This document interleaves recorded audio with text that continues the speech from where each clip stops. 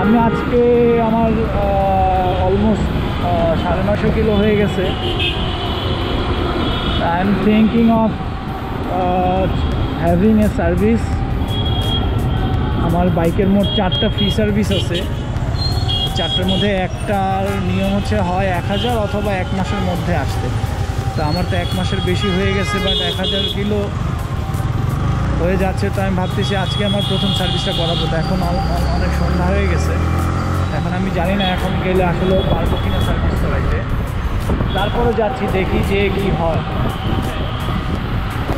তো এখন আসছি ইয়ামাহা থ্রি এস সেন্টারে টু হ্যাভ সার্ভিসিং দেখা যাক।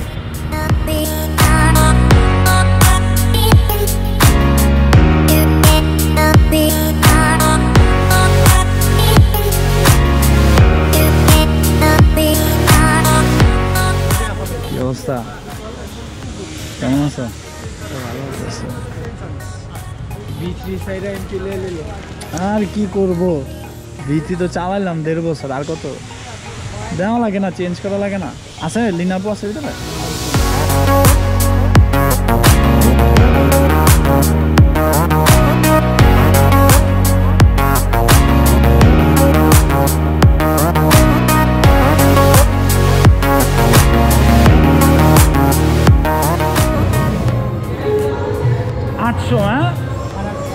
সাড়ে আটশো।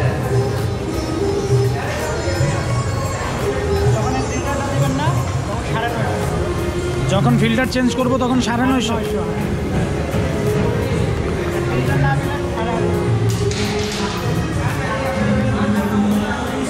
ফিল্টার এরপরে যখন মানে দুই হাজার কিলোর পরে চেঞ্জ করব। মোবাইলের রেট চেঞ্জ করলেও কিন্তু মোবাইল ফিল্টারটা চেঞ্জ করতে হয়। আচ্ছা।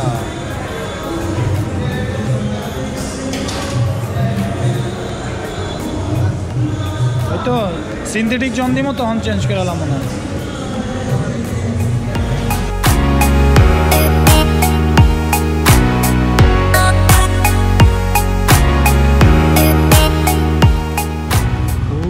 সাউন্ড একদম ঠান্ডা। এখন বাইক আর একটু ফ্রেশ লাগতেছে, খুবই অবভিয়াস থিং সার্ভিসিং করানোর পর একটু তো বাইক মানে আগের চেয়ে একটু বেটার লাগবেই। ক্লাচ অ্যাডজাস্ট করলাম চেইন অ্যাডজাস্ট করলাম। হয়তো মানে প্রপার একটা সার্ভিসিং দিয়ে দিলাম টুকটাক। তো নয়শো বাহান্ন কিলো ডান সেমি সিনথেটিক ঢালাও শেষ। মোটামুটি সার্ভিসিং করালাম ACI three S Yamaha three S test gas মানে পয়েন্ট থেকে। ওই মোটামুটি ভালোই সার্ভিস করল ওয়াশ টাশ করে দিল একদম ক্লিন আপনারা এর আগেও করিয়েছি, আমি কয়েকবার করিয়েছি। অনেকেই করাননি বা অনেকেই করাইছেন, ভালোই, খারাপ না। এই সব জায়গার সার্ভিসিং সার্ভিসিং একই আসলো। ওদের এই জিনিসটা খুবই ভালো, ওরা কোন কোথাও ভালো, কোথাও খারাপ বিষয়টা এরকম না। সব জায়গায় যারা সার্ভিস টেকনিশিয়ান আছে মোটামুটি সবাই কাছাকাছি। উনিশ, বিশ আর কি। আহামরি এরকম এমন না যে ধরেন এখানে সার্ভিসিং খারাপ, ওখানে সার্ভিসিং ভালো। বিষয়টা একেবারেই ওরকম না। তো যাই হোক, এখন আসলেও যেটা নিয়ে কথা বলব সেটা হলো আর এই মিটার আর পিএমটা অ্যাডজাস্ট করার দরকার ছিল। যাই হোক দরকার নেই, সমস্যা নেই। এই যে দেখুন, আপনারা একটু খেয়াল করে দেখেন, দাঁড়ান। আপনারা একটু খেয়াল করে দেখবেন যে আমি কীভাবে গিয়ারটা কখন চেঞ্জ করি বা আসলে কতটুকু স্পিড মেনটেন করে আমি বাইকটা চালাচ্ছি। আমার চেষ্টা থাকবে আমার সবসময় পাঁচ গিয়ার ছয় মানে সরি ফাইভ থাউজেন্ড আর সিক্স থাউজেন্ড আরপিএমের বেশি যেন না হয়। এরকম চালাতে চালাতে ধরেন বেশ কিছুদিন আগে, খুব বেশি দিন হয়নি, কিছুদিন আগে আমার মাথায় আসছিল কি ভাই, আমি যদি এরকমভাবে চালাতে না থাকি, আমার যে একটা ভিভিএ আছে যেটা সাত হাজার, সাড়ে সাত হাজারের পর অ্যাক্টিভেট হয়, ওইটা কিনা আবার অ্যাক্টিভেট না হইতে হইতে পরে কারণে জং পড়ে যায়, কাজ না করে, পরে আমি একবার একটু ট্রাই করে দেখছিলাম যে আমার ভিভিএ কাজ করে কি না পরে দেখলাম যে না ভিভিএ কাজ করে, এই যে দেখেন। ভিভিএ কাজ করে, দেখছেন? রোজ জাস্ট পান এনিওয়ে আমার অনেক হয়েছে ভাই, আমার পক্ষে দুই হাজার কিলোমিটার, চার হাজার, পাঁচ হাজার কিলোমিটার ব্রেকিং পিরিয়ড মেনটেন করা পসিবল না। আমি ভাই এক হাজারে যে করছি আমার মনে হয় অনেক অনেক হয়ে গেছে আমার জন্য। এর চেয়ে বেশি আর আমার পক্ষে সম্ভব না রে ভাই, কি?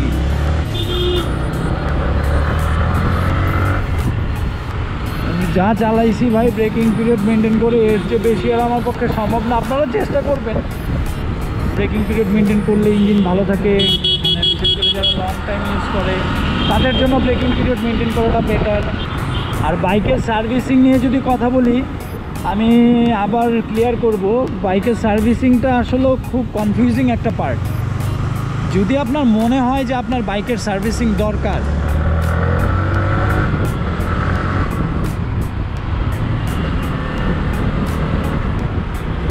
শুধুমাত্র তাহলেই সার্ভিসিং করান। এখন আমার যেহেতু এসিআই থেকে কিনছি, এক হাজার প্লাস এক মাসের মধ্যে একটা বছরে পাঁচটা ফ্রি সার্ভিসিং আছে, অথবা দুই বছরে পাঁচটা হোয়াট তো এই ফ্রি সার্ভিস আছে, ভাবলাম নিয়ে নেই, একটা এক হাজার কিলো হয়েছে মোবিলও চেঞ্জ করব ব্রেকিং পিরিয়ডও আমার মতে আমার এন্ড থেকে আর মেনটেন করব। তো এর আগে ভাবলাম যে একটা সার্ভিসিং বা চেক আপ করাই নেই, কী অবস্থা না অবস্থা দেখি। এছাড়াও মনে করেন যে সার্ভিসিং নতুন অবস্থায় কিনতে গেলে একটা সার্ভিসিং করলে সুবিধা কি?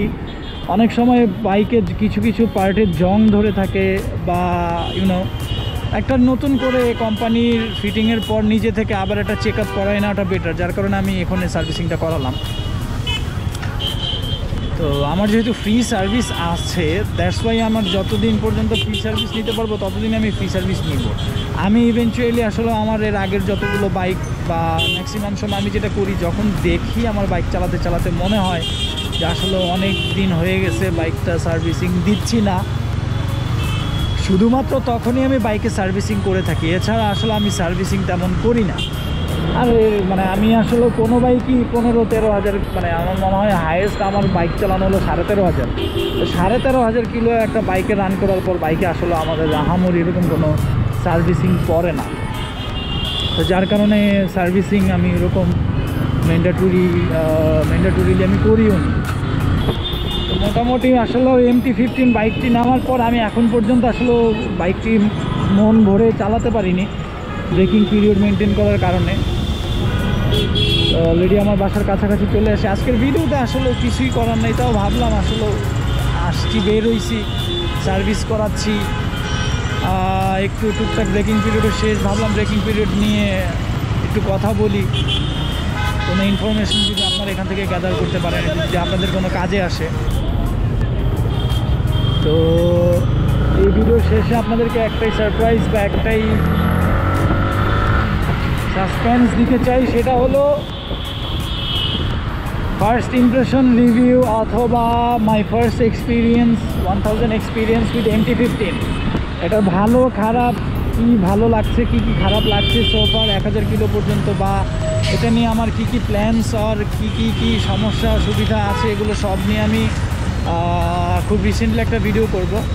এখানে আমি চেষ্টা করব আপনাদেরকে এম এমটি ফিফটিনের আমার ফার্স্ট ইমপ্রেশন যে ভিডিওটা মেক করার, এটা আমি আপনাদেরকে দেখানো।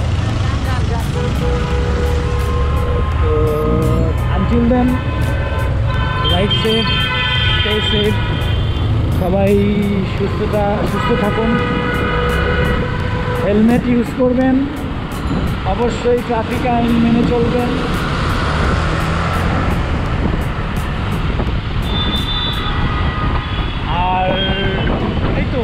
সবাই যার যার এন্ড থেকে যতটুকু পারেন সেফটি গিয়ার্স ব্যবহার করবেন। ভালো থাকবেন, সুস্থ থাকবেন। ইনশাল্লাহ আবার দেখা হবে। আল্লাহ হাফেজ।